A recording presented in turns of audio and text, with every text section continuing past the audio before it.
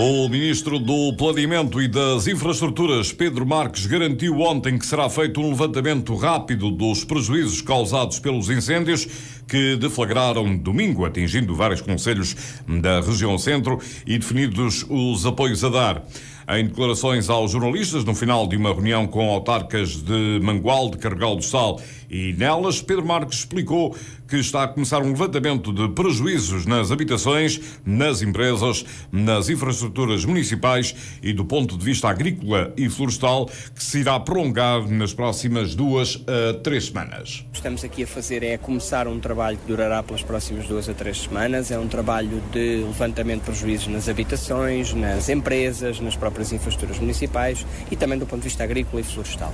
O que levo daqui também é uma mensagem dos autarcas, que foi clara, de preocupação de reerguer os seus territórios e é também isso que o Governo aqui está a fazer. Os eventos são de natureza extraordinária e são profundamente lamentáveis, em particular a morte das pessoas, mas o melhor que podemos fazer a estas comunidades, tenho dito, já disse no caso de Pedrógão, a melhor homenagem que se pode fazer àqueles que infelizmente perdemos ou que estão afetados por estes incêndios é ajudar agora a reerguer as suas terras, as suas comunidades, as suas famílias, as suas vidas e garantir e salvaguardar os seus empregos. Isso é um trabalho extenso que fizemos na altura de Pedrógão e que depois agilizámos um conjunto de mecanismos legais para podermos estar no terreno agora a recuperar as habitações das pessoas, a apoiar os agricultores, a apoiar as empresas, tudo isto está no terreno. É o que nós nos comprometemos com certeza a fazer aqui, é um levantamento rápido de prejuízo e definição dos apoios. A situação deste verão foi de grande complexidade. Digamos, temos um grande apreço pela equipa, quer pela sua ministra, quer pela, pela sua equipa, que conheço, aliás, há bastantes anos, os dois secretários do Estado. Uh, e, portanto, agora, neste momento, o que é importante é dizer isto, ou seja, solidariedade para com o verão muito difícil que enfrentámos como país, e esta equipa teve que o enfrentar e ser o rosto desta situação, mas, uh, mas compreender a decisão, obviamente, da, da, da senhora Ministra, da minha colega, relativamente à situação ocorrida e, uh, uma vez mais, uh, um pensamento, digamos, com a necessidade, que é o que vamos fazer este fim de semana no Conselho de Ministros Extraordinário, de melhorar os mecanismos de proteção civil, de tomar decisões com base no relatório da Comissão Técnica Independente e de começar a reconstruir estes territórios, que essa também é uma tarefa do Governo e que nós vamos desempenhar e imprimir toda a nossa energia para apoiar estas populações. Pedro Marques, o ministro do Planeamento, ontem em Mangualde, garantindo um levantamento rápido dos prejuízos e definição de apoios no âmbito dos uh, fogos florestais do passado fim de semana. E o presidente da Câmara de Castelo de Paiva criticou ontem os políticos de Lisboa ocupados em debates quinzenais e moções de censura quando já deviam estar no terreno a, tra a tratar dos problemas das pessoas afetadas eh, pelo incêndio. Gonçalo Rocha afirmou que o incêndio que lavrou em Castelo de Paiva no domingo à noite e na madrugada de segunda-feira destruiu cerca de 80% da floresta do Conselho e deixou desalojadas 14 famílias cujas casas foram consumidas pelas chamas. O fogo destruiu ainda várias empresas e explorações agrícolas responsáveis por cerca de de 200 postos de trabalho, segundo estima a autarquia local. Uh, acho que estamos a, deixar de extrair com questões acessórias que neste momento não me parecem que sejam relevantes para aquilo que é importante neste momento, que é a ação uh, no terreno. Julgo que neste momento, mais comissões de censura, demissões, seja do que for, é importante é atuar e dar condições ao governo para atuar de imediato Uh, acho que neste momento a discussão política partidária tem que ficar relegada para um tempo posterior, não, não em causa que se deve discutir e que se deve debater, que se deve programar e planear. O que, na minha perspectiva, tem que ser feito de imediato é uma ação concreta no terreno, envolvendo todos, deixando de parte uh, questões de, de, de, de, debate político uh, e que alimentem televisões, porque tenho assistido de facto que as televisões estão muito mais preocupadas com demissões, com isso na prática, neste momento, para, para as populações não é o mais importante. O mais importante é que o, o governo, uh, os serviços do Estado estejam no terreno. Se houver necessidade de pedir ajuda internacional, que se peça, mas temos que agir e ajudar as famílias que neste momento estão uh, sem saber o que é que vão fazer para o futuro e, as câmaras municipais e as juntas de não têm recursos para dar resposta é um problema de, de tão grande dimensão. Mas é aí que eu acho que neste momento temos que centrar as questões. Não é num debate quinzenal, que segundo me disseram hoje, que tinha que existir. Os líderes das bancadas, os líderes que representam os partidos não aceitavam adiar. Quer dizer, isso, os debates quinzenais não, não resolvem problema nenhum às populações que neste momento estão desalojadas e aos trabalhadores que não sabem se vão ter futuro nas suas empresas. Portanto, eu acho que neste momento é importante, sinceramente, as pessoas virem mais é para o terreno, os representantes das várias forças políticas estarem no terreno, a apoiar as pessoas, a dar uh, sugestões, a dar encaminhamento para os problemas. Isso mesmo hoje transmiti ao Sr. Presidente da República, porque liguei-lhe da parte da manhã, a manifestar-lhe essa preocupação, porque acho que está já a sentar num, num, num debate da querela partidária, que é completamente nocivo e prejudicial para a resolução dos problemas. Não nego com isso que devam apurar responsabilidades e que se faça o debate político. Ele tem o seu tempo próprio para ser feito, seguramente.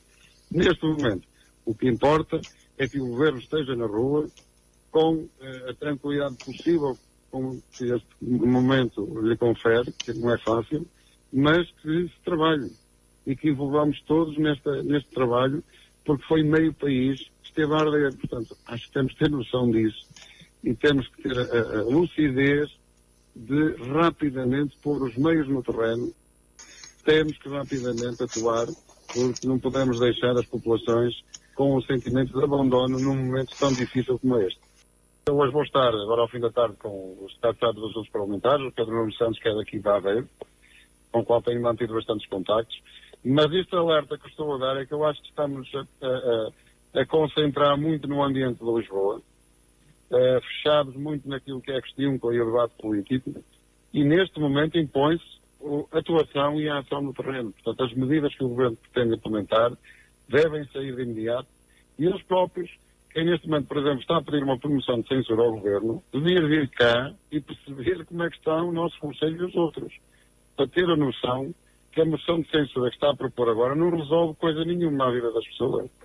É mais um, um elemento de ruído num processo que tem que ter a serenidade e a tranquilidade que é possível num momento como este para se poder atuar. O que eu acho é que em Lisboa não está a haver um sentimento uh, correto neste momento daquilo que é prioritário. E aquilo que é prioritário neste momento é a atuação, é a ação.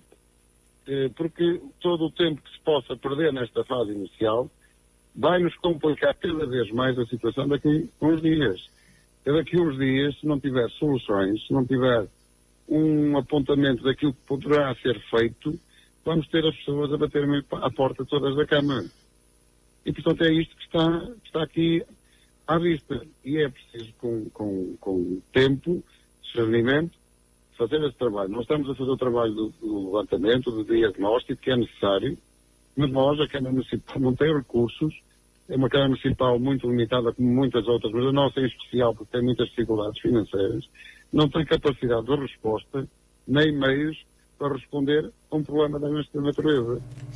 Gonçalo Rocha, o presidente da Câmara Municipal de Castelo de Paiva, o autarca insistiu na necessidade de haver lucidez para rapidamente pôr os meios no terreno, porque exclamou: não se pode deixar as populações com um sentimento de abandono num momento tão difícil como este. O autarca hum, criticou também aquilo que considerou serem os políticos de Lisboa que já deviam estar no terreno. Atendendo aos contactos efetuados junto da Câmara Municipal de São Pedro do Sul, a oferecer ajuda no âmbito dos incêndios que deflagraram no Conselho, a autarquia local está a informar que se encontra no terreno a proceder ao levantamento dos danos e das necessidades. Todas as situações humanas graves, segundo a autarquia, estão resolvidas e devidamente encaminhadas pelas entidades competentes. O município sopedrense encontra-se em articulação com os conselhos vizinhos de Vozela e Oliveira de Frades no sentido de desenvolver estratégias que minimizem o impacto criado por esta tragédia. A autarquia sompedrense solicita que a quem pretenda dar o seu contributo faça através de bens alimentares não perecíveis, nomeadamente massa, arroz, açúcar, azeite, leite, óleo, bolachas, farinha, latas de atum, latas de salsicha, papas e cereais infantis. As entregas poderão e deverão ser efetuadas nas instalações da Comissão de Proteção de Crianças e Jovens, localizada nas instalações do edifício Jardim, em São Pedro do Sul, isto entre as 9 da manhã e as 5 da tarde. A autarquia São Pedrense disponibiliza também um contacto telefónico, onde podem ser obtidas mais informações sobre esta ajuda solidária. O número de telefone é o 964 686 246. A Diretoria do Norte da Polícia Judiciária anunciou ontem a detenção de um agricultor de 31 anos, presumível eh, autor de um crime de incêndio florestal registrado no passado dia 8 em Barro, no Conselho de Rezende. Em comunicado, a polícia acrescenta que, além da hum, floresta e do mato, o incêndio pôs em perigo uma zona de habitações. Na operação, a PJ contou com a colaboração do Núcleo de Proteção Ambiental de Lamego da Guarda Nacional Republicana. O detido foi presente às autoridades judiciárias para primeiro interrogatório e aplicação das respectivas medidas de coação.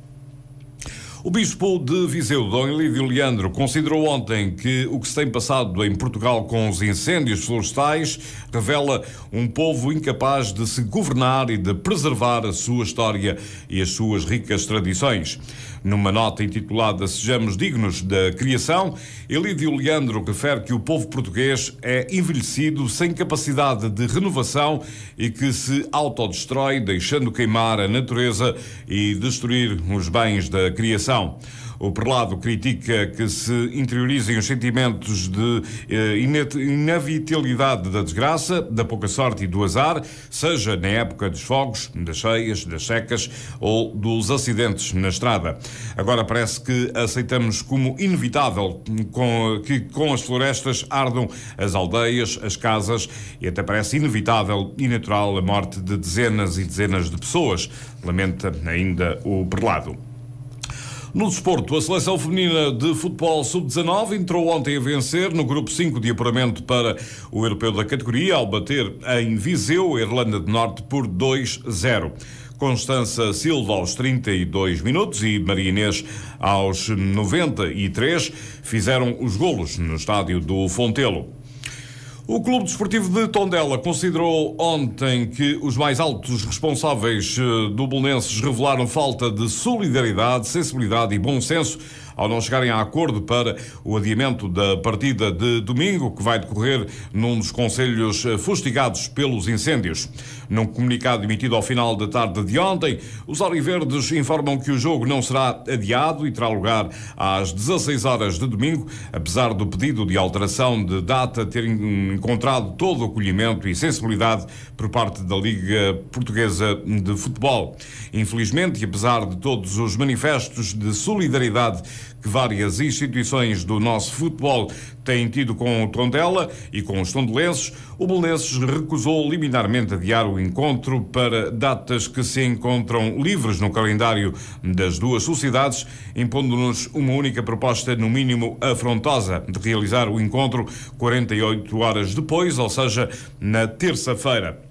O Tondela considerou que se tratou de uma desfeita que deixou os olivedos eh, estarrecidos com a falta de bom senso dos responsáveis do Belenenses. A SAD do Belenenses insurgiu-se ontem contra o ignóbil, mentiroso e moralmente abjeto comunicado do Tondela, que acusou os lisboetas de falta de solidariedade por não concordarem com o adiamento do jogo de futebol entre as duas equipas. Em nota enviada à imprensa, a direção da SAD do Belenenses esclarece que, diante do requerimento do Tondela para adiar o jogo marcado para domingo. Se deslocou eh, ontem de manhã eh, àquela que foi uma das cidades fustigadas pelos incêndios para reunir com representantes da equipa local e com a Liga Portuguesa de Futebol Profissional. Nessa reunião tripartida, o Belenenses Estado tomou a posição de que se o fundamento do adiamento fossem os trágicos acontecimentos do passado fim de semana, todos os jogos da jornada deviam ser adiados. Todavia, ficou claro que o adiamento do jogo Tondela-Belenenses era justificado pelos condicionamentos que a, que a poluição atmosférica impunha para a preparação desportiva do Tondela, explica o comunicado. Apesar de ter um jogo no sábado seguinte, dia 28 de outubro, em Lisboa, o Belenenses, já com uh, prejuízos dos seus interesses esportivos, propôs adiar o jogo com o Tondela até terça-feira, dia 24, de modo a permitir a recuperação desportiva do Tondela com as três partes alcançarem um acordo para que o mesmo fosse disputado na próxima segunda-feira. Acontece que acabaram por não chegar a entendimento entre as duas SADs desportivas. A Saudade, Sabores do Coração, marca portuguesa de castanhas, chegou ontem ao mercado nacional e prevê faturar um milhão de euros até ao final do corrente ano. O objetivo é dar a conhecer um produto de alta qualidade, sazonal, que o consumidor associa a uma época específica do ano e que traz saudades, afirma o administrador da Fru Santos, empresa que comercializa e distribui produtos agrícolas Tosé Santos. A Saudade valoriza a castanha da variedade Produzida em Sernancelho, que atualmente já é exportada para os Estados Unidos e Canadá, segundo aquele mesmo responsável.